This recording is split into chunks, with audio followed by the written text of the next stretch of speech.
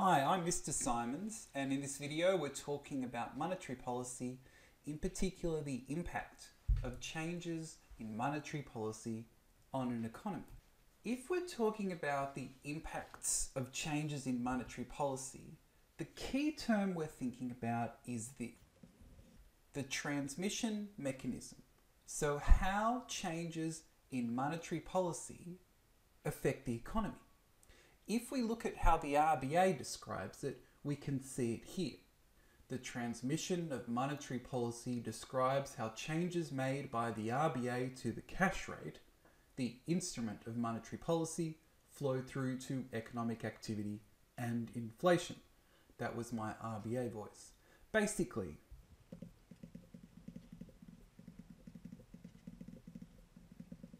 this is what we're talking. In terms of how the transmission mechanism works, the RBA's got a great diagram. There'll be a link to this in the show notes that talks about how changes in the cash rate then work all the way through the economy. So you can see, okay, they will affect deposit rates, savings investments, cash, asset prices, exchange rates, GDP, domestic prices, import prices, inflation expectations, inflation. So what we're going to do is we're going to work through some of these. But again, I'll put a link to this. Uh, it's a worksheet in the show notes. So you can then walk through how the change in the cash rate will then affect all these other elements in the economy. Pretty interesting stuff. Thanks, RBA.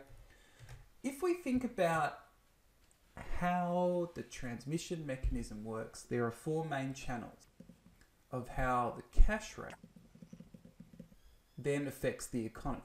But basically, this works through these four channels. And we're going to look at these in turn. Please note, I didn't come up with this stuff. Information next slides is adapted from uh, an RBA explainer sheet, which is really great called The Transmission of Monetary Policy. Uh, not being cynical, very, very useful. And I'll put a link to that also in the video description.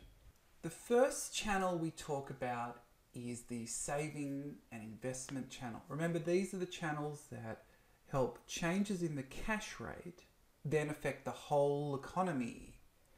First thing to think about is that if there's a lower cash rate, okay, that's going to be lower deposit rates. So that means that consumers, people, will get, or businesses even, will get a lower return on their savings. So if there's a lower cash rate, lower deposit rates, people are more likely to more likely to spend. Now remember, what we're going to do is, well don't remember because I didn't tell you yet. What we're going to do is we're going to go through a lower cash rate in this example. But for your notes, just flip the script. So you can say a higher cash rate, higher deposit rates, and that will reduce consumption. Again, lower cash rate, okay, that's lower lending rates. So that means that households will actually borrow more because it's cheaper. And this will increase their demand for housing assets and could increase economic growth. Also, that a lower cash rate, lower lending rates, that's going to be good for businesses because it's cheaper for them to borrow, and they think that, well, if we borrow buy capital goods, we're probably going to make more money from those capital goods than it costs to repay that debt. So remember, this is for a lower cash rate. This is the savings and investment channel, our first part of the transmission mechanism. The second channel is the cash flow channel. So the cash flow channel is slightly different. Think about it this way. If there is a reduction in lending rates because this will lead to lower repayments on debt. Uh, lending rates will be cheaper, so less repayments. So household and businesses have more disposable income to spend. They have more cash to spend. The other thing is that if there is a reduction in interest rates from that lower cash rate, People get less income from deposits from their savings, and this could slow consumption for some people. These two effects work in opposite directions. right? One is encouraging people to spend, the other, stopping people from spending. But the RBA thinks that the first effect is more powerful than the second. So, cheaper lending rates has more of an impact on the economy than less deposit return. The third channel is all about asset prices and wealth. And remember, our example that we're looking at is okay, what happens if we see a lower cash rate? So, lower cash rate, lower interest rates means that more people can afford to buy assets, uh, houses, cars, they can take out loans for all sorts of things, responsible and irresponsible. And that will push up the prices of assets because more people want them. Higher asset prices also mean that individuals have more collateral or kind of uh, guaranteeing ability to guarantee loans so that they can increase the amount that they might be able to borrow. Overall, an increase in asset prices will increase people's wealth, and this can lead to higher consumption and investment. And remember, this is from a lower cash rate. If we flip the script here,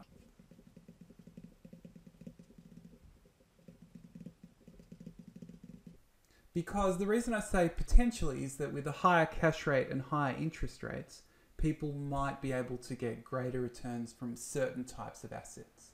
But just think about this essential thing lower interest rates, higher demand for assets, higher interest rates, generally a lower demand for assets. And that will feed into this channel of asset prices and wealth. Okay, our final channel of the transmission mechanism is about exchange rates. So changes in the cash rate, yep, they will affect exchange rates. So for example, if Australia has lower interest rates, that will lead to lower returns for overseas investors. So if they get lower returns because of the lower interest rates, they're going to take their money elsewhere. And that will reduce demand for the Australian dollar and reduce the value of the Australian dollar. The other thing to think about is that if Australian interest rates are lower compared to the rest of the world, okay, that's going to reduce the value of the Australian dollar. And that if we have a lower Australian dollar, that's going to make imports more expensive and that's going to add to inflationary pressures. But also, a lower Australian dollar um, makes exports more internationally competitive and could boost aggregate demand. And remember, this is from a. If we look at the other situation, they will lead to an appreciation in the dollar, and that these effects will in fact be opposite in that situation. There's one more thing before I go in this video, and that is that changes in the cash rate will have a big effect on inflationary expectations. So, what people think will happen with inflation. So, higher interest rates will reduce inflationary expectations because wage and price demands are going to be less because people don't think that um, prices are going to be going up and they're going to need higher wages because higher interest rates will slow everything down. Likewise, lower interest rates could actually get people thinking the economy is going to expand, prices are going to go up, I need some higher wages to cover those higher prices. So lower interest rates could fuel or accelerate inflationary expectations. Thanks for watching the video all about the transmission mechanism today.